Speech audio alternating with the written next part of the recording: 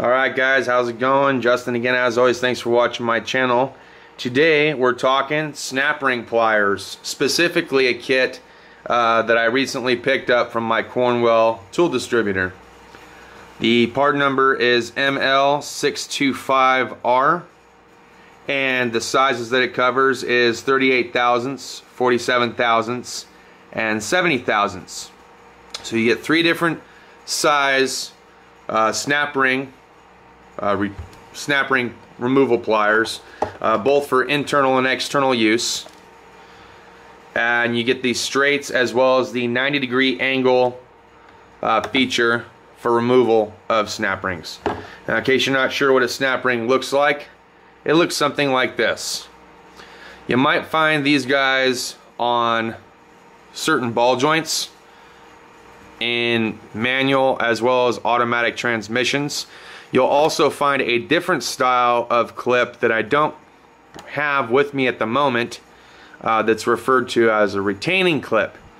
A little different than this. The retaining clip, if you were to cut the ends off, these two little eyelets that you see here, and just make this almost like a C-clip, that would be what a retainer clip would be like.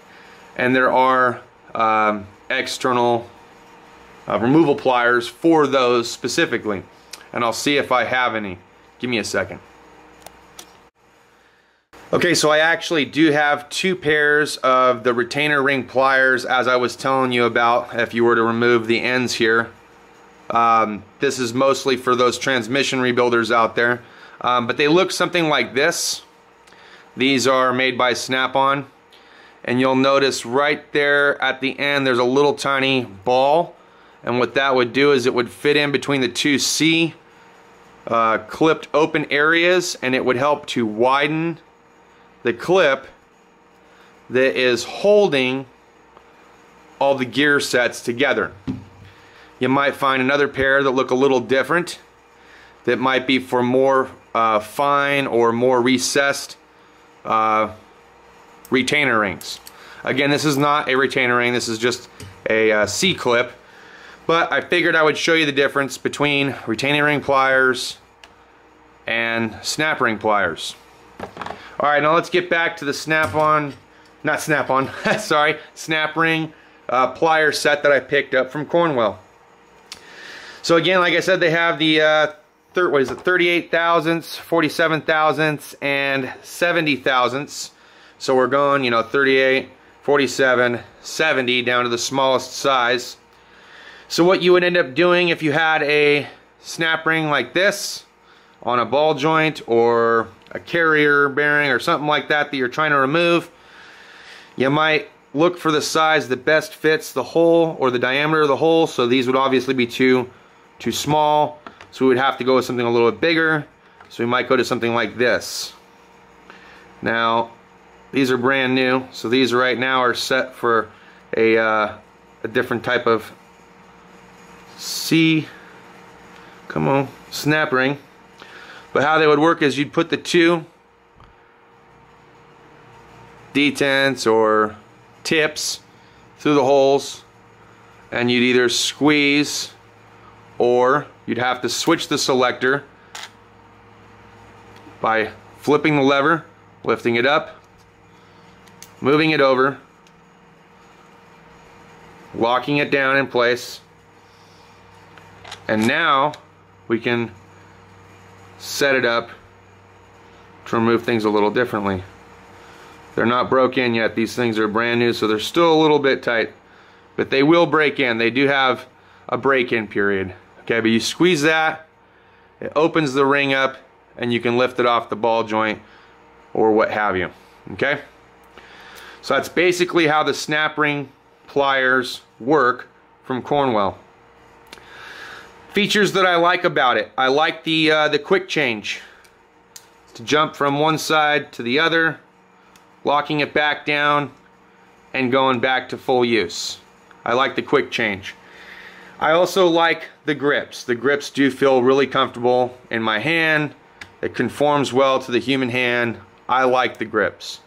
Um, there might be a different style that you would prefer over this style, but I'm just giving you my opinions of what I like about them. Dislikes. even though it is a like with the uh, the quick interchange, the dislike that I have behind it, as I noticed that there was one specific pair that I had a difficult time. See, I, I've broken it in now. I did have a difficult time with this earlier where I could not break that free or lock it back down. So again, don't judge it too quick. They do have a break-in period. Some of these, the, the quick change can be a little intimidating at first because you really got to kind of break them in. So even though it's a like, it's also a dislike in the very beginning. Uh, I do like the quick change feature. I dislike the break-in portion of it, but it's something that we have to get over when using new tools. They will break in and it'll be much easier for that quick selector switch. Something else that I like outside of the comfort grip and the quick selector switch is that uh, I have utilized the snap ring pliers from Harbor Freight and the tips on those um, from Harbor Freight were not machined well enough for any practical use. So I took them back to the store and ended up picking up these. I'm sorry I didn't do a video uh, video review of those, but just take my word for it. I did not like them. They were not practical and they didn't fit in any snap ring that I was trying to use them for. That's why I picked up this set. That being said, I will also, here in a little bit, uh, take you over to the Amazon store and I will show you similar products for a fraction of the cost that either come with more or uh, either more snap ring pliers or more choices of angle or for cheaper cost but also a really good quality. So I will take you to the Amazon store and I'll show you some other brands that you might pick up where you can get them cheaper. Of course Amazon Prime orders fast shipping two-day shipping. So if you're an Amazon Prime member that's gonna work out great for you. Dislikes that I have with them would be the uh, the amount that you the amount of pliers or variances that you get for the price. Price for this kit goes for about $125 uh, currently and you can get a 12 piece set from Lang as an example for $75. Again, we'll, we'll talk about it and I'll show you guys on the computer here in a minute. Alright, so side-by-side -side features in case you were thinking about other brands uh, such as Snap-on, Matco, etc. The Matco brand, I looked at those. They're almost identical in every way to the Lang product. These do have some similarities to the Lang product. So Lang might actually be the original company that developed the snap ring plier. And then of course it got rebranded Matco and Cornwell. They may very well be. I don't know for a fact. I'm not stating a fact. I'm stating an opinion. But a huge difference in competitors would be Snap-on. Now I do have one pair of Snap-on snap ring pliers and you'll see they got really good machining on the tips. I've had these for a long time. I've utilized this specific set for ball joint, uh, ball joint snap rings, which is why I kept this specific style, a 90 degree, this specific tip, and I've just kept this one pair. I didn't buy the whole kit, just bought this one pair for my own practical use. I think I might have spent 30 bucks for this one pair. But at any rate, how you switch this, it's not so quick.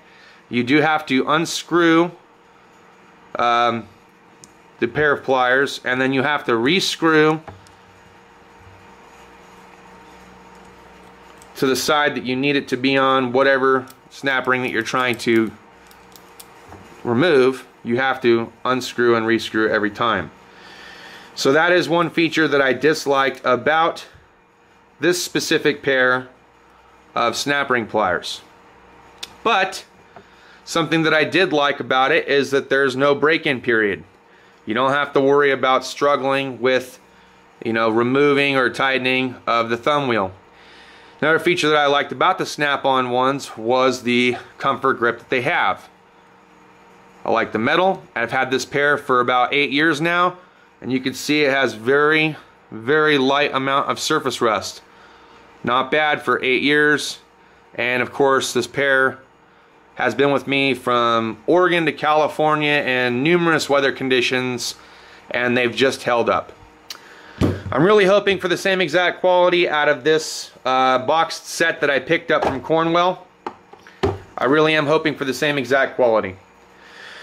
So that's all I got for this portion of the video.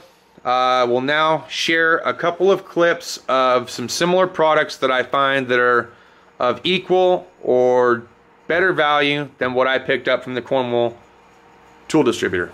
Let's check it out. All right, so let's go to Amazon. Let's take a look at some of the other manufacturers that are out there, some of the cost differences that you can expect, some of the different sizes, some of the different features, and we'll just do a light comparison between the ones that I picked up from Cornwell, the one pair that I have from Snap-on. We'll do some price comparisons and then we'll talk about warranty a little bit. So looking at the screen here, uh, I was telling you guys about Lang. We're going to pull up the Lang 12 piece uh, fixed tip internal external snap ring pliers. Now if you'll notice here on the uh, on the hand grips, a lot of similar features to the Cornwell ones.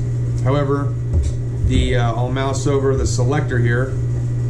You can see that the selector style is much like the one that you can find on the snap um, snap-on ones. So again, similar features, not exact, not sure who makes the uh, tool for Cornwell or Matco to rebrand. It's just something to put in the think tank, you know, something to think about because rebranding is out there, we're all aware of it. But Lang does make a really good product. Another product I like is OTC. We'll talk about that. We'll take a look at their snap ring pliers set and uh, see what kind of features and benefits that they have. So now let's go ahead and we'll go back to our search page and we'll talk about a few gimmicky things too. Here's a uh, what I would consider a gimmicky pair of snap ring pliers. You might notice some similarities here on this one to the ones that you can find at like Harbor Freight. In a pinch, I've gone to Harbor Freight, I've purchased this gimmicky pair. They do not hold up. I've broken the tips off of these things. They're weak at best. I would not waste my money. Even though they cost 10 bucks, I would not waste my money on it. It's just bring you to tears and make you go back to the store to return it and get your money back. Now, Harbor Freight does sell an entire set, which I have used in the past, but they have poor machining, so poor that it didn't even fit within the snap ring eyelets. So, I wouldn't buy snap rings from Harbor Freight. I'm just throwing that out there. A, another gimmicky tool, and Lang is no exception I first noticed this gimmicky tool. It was made by Craftsman. And during my first year of automotive, when I was undergoing manual transmissions and getting ready to go into automatic transmissions, um, but when I was in manual transmissions, one of the first transmission courses I took at the community college, I picked this pair up that were Craftsman's and they were pretty similar to this. Uh, very gimmicky. I didn't like them. As you can see, there's little tiny Allens that actually hold the, uh, the snap ring adapters in place. If you don't tighten them down good enough, they do fall out.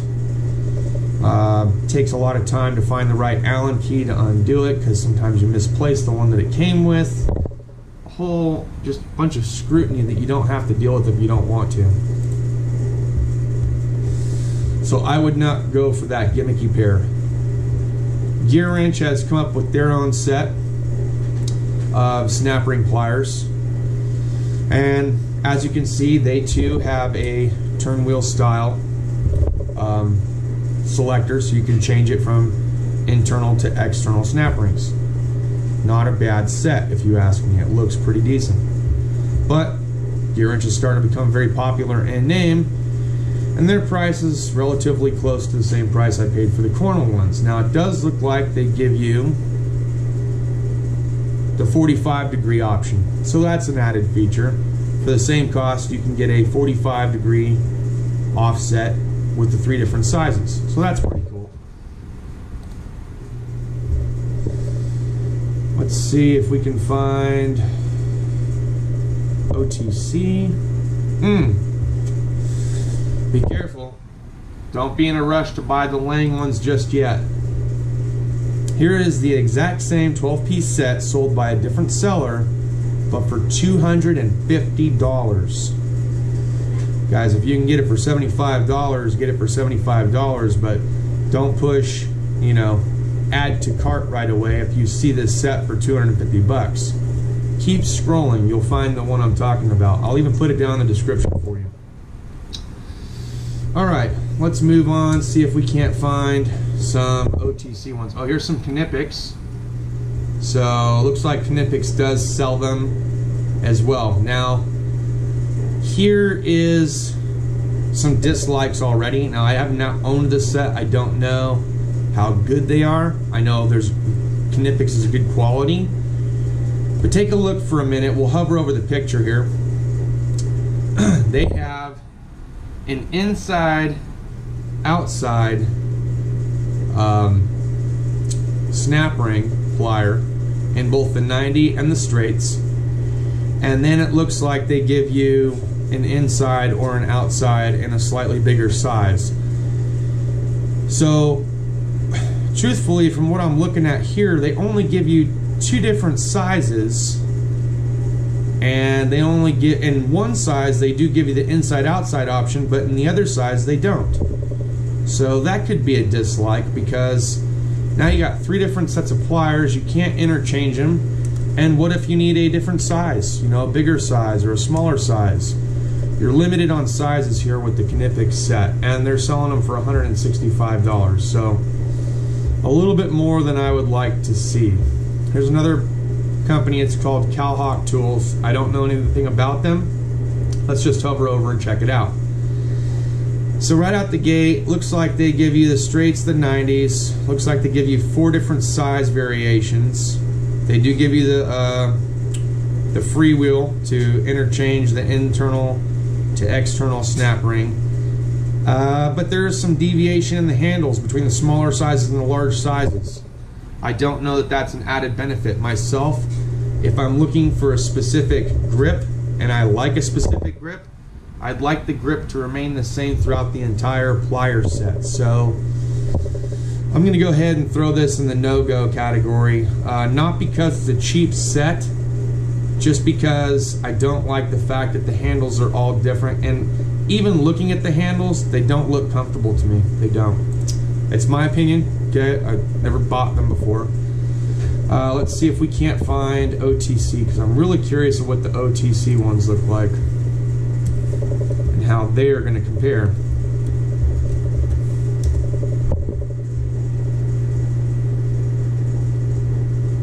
So, a couple of different kits here. Here's an OTC kit. Now it's a 12 piece kit for 155.36. Now OTC used to be a brand that a lot of automotive uh, mechanics used to go to um, because they were the ones that actually started providing the tools for a lot of the distributors early on before these other companies came out. So they're very reputable. They've been around for a while. Uh, but if you take a look here at the handles, really thin. Uh, it doesn't look like they put any effort into creating a what I would call a good quality snap ring plier set as far as the handles go. Now as far as the durability of tips or the machining of the tips, it's OTC. I'm going to give them the credit that they deserve and say that the tips are probably exactly what you're looking for. As far as the handles, I think they could have done a little bit better. That's just my opinion. So we've checked out a few different uh, major key players here, Knipex, GearWrench, OTC, Lang. We looked at some gimmicky snap ring plier sets. We've talked about the Snap-on versus the Cornwell. Uh, I don't have a Matco set to show you, um, but we'll let you be the judge of that. That's all I got for this video, guys. Thanks as always for watching. Sorry it was so long, but I hope you learned something from this. If you liked the video, give it a thumbs up. If you dislike the video, give it a thumbs down. Share it if you'd like to share it. If you liked this video or this style of video, let me know down in the comments and maybe we can uh, do this again sometime, especially if it helps you guys. So thanks for watching. We'll see you next time. Cheers.